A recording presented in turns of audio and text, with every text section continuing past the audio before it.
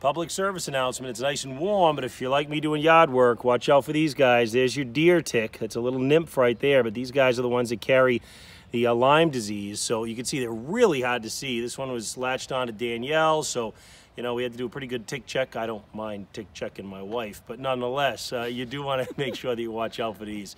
So again, public service announcements. The wood ticks are the larger ones that are brown with a white spot. These are those little deer ticks. These are the ones you really got to watch out for. Be careful out there.